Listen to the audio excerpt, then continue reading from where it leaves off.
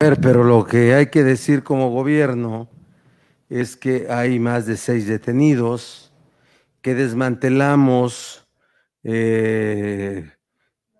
los laboratorios, las fábricas donde se procesaba el alcohol,